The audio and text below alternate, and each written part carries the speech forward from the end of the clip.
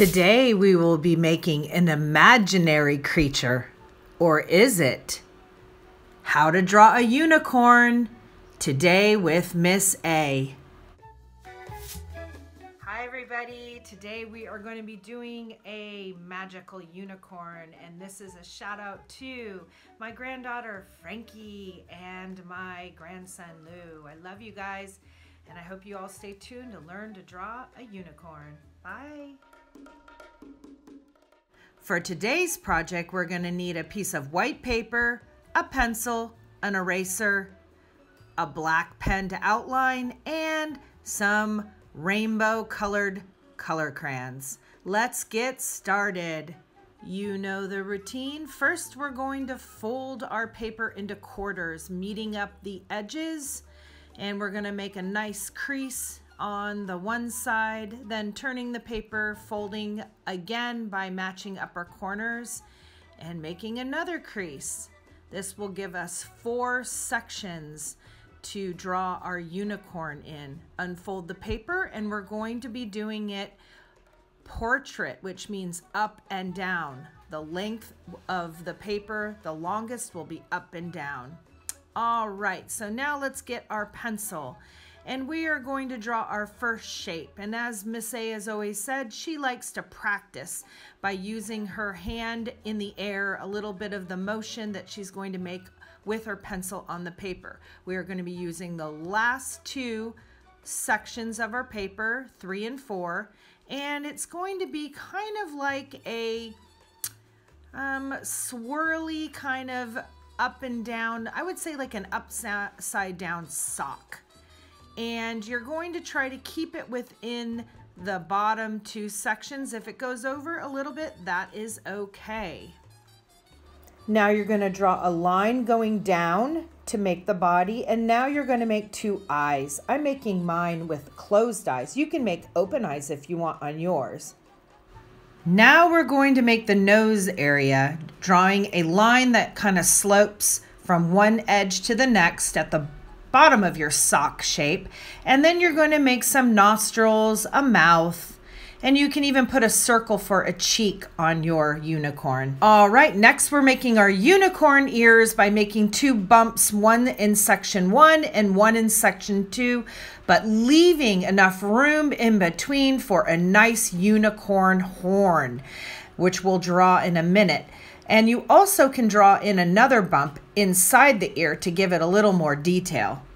The next thing we're going to draw is the mane of our unicorn, the hair on the back of the unicorn's uh, uh, neck and head. And we're going to do this by drawing triangle shapes that go down the back of our unicorn. How many triangles did you make on the back of your unicorn? On the fourth section, the lower right hand corner, you're going to draw um, like a half circle and you draw some lines within that half circle that we're going to color later. You will see. All right, and we're going to continue making more hair and we're going to make it from the ear to the eye in that last section with making some lines that are parallel to that half circle line and do the same thing on the left side. And this will be the hair of our horse slash unicorn if you decide to put a horn on it. Otherwise, it can be a horse. Now I'm going to draw my unicorn's horn and I'm starting uh, down the center of the line that I uh, folded and I'm making some wavy lines like ocean ocean uh, waves that I might use to draw. And you're going to do that down either side and have it go right between the ears of your unicorn. Now I'm drawing some diagonal lines meeting up to the edge from one side to the other, going up the unicorn's horn, which we're going to color later. And see how many lines you can get in there. I got one, two, three, four, five lines in mine.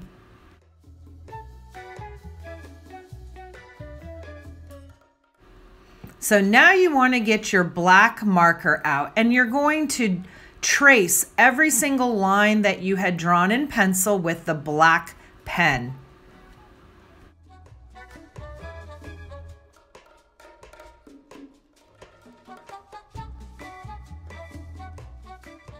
After you're done outlining, erase any pencil lines. All right, now I want you to get some color crayons. I'm using rainbow colors, which are red, orange, yellow, green, blue, and purple. Six colors. I also use some gray and pink in my unicorn, but I'd like you to primarily use rainbow colors for this particular unicorn, and I'll show you why, because it's actually called a rainbow unicorn.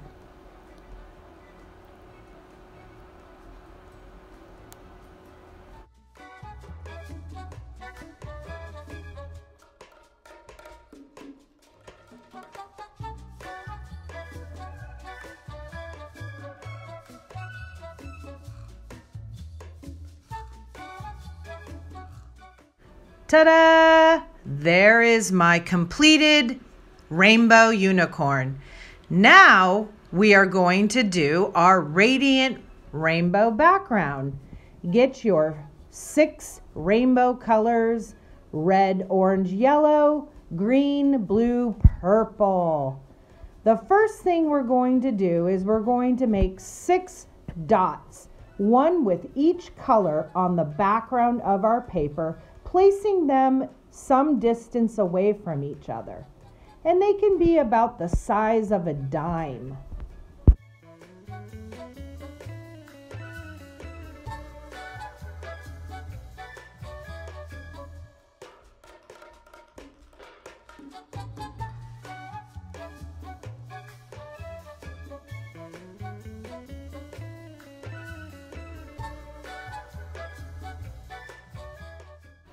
Now that you're done making your dime shaped colored uh, spots, I want you to take your color crayons and put them in order of purple, blue, green, yellow, orange, red. This will help you when you're starting to do the background. Whichever dot you are going to start coloring your radiant lines from, I want you to move up to the next color in the lineup. So for example, if I did my red polka dot, I would use orange next, then yellow, then green, then blue, then purple. If I started with my purple dot, I would then go to the bottom and keep going up. So purple, red, orange, yellow, green, blue. Let's try one more just so we know we have it. If I started with my green dot, what would be the next color? Did you say blue? You are correct. Then purple, then red, then orange, then yellow. So each dot, you're going to keep this pattern and you're going to make radiant lines that go all the way around that original dot, just building on top of the next color. If you run into an ear or some of the hair, just stop and start back up where you could go continue that radiant line. When you're all done, it will look fantastic.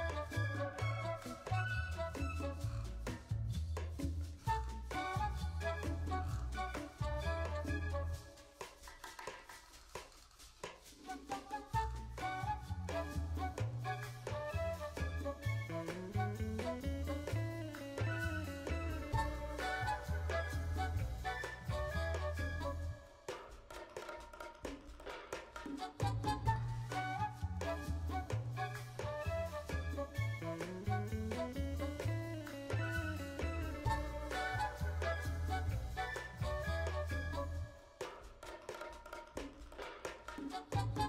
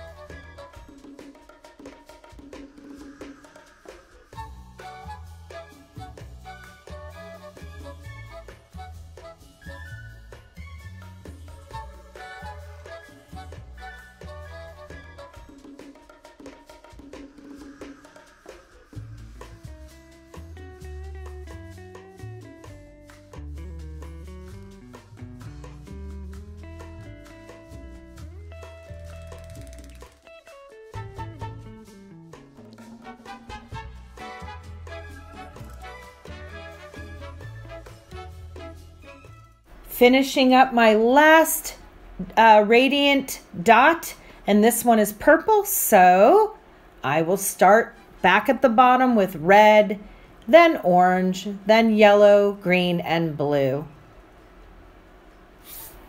Ta-da! My rainbow unicorn with my radiant rainbow background.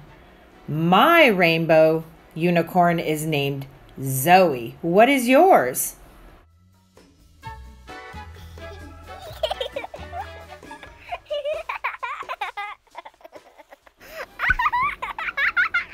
Remember, if you can imagine it, you can make it, and you can change your world. Stay safe. Bye for now.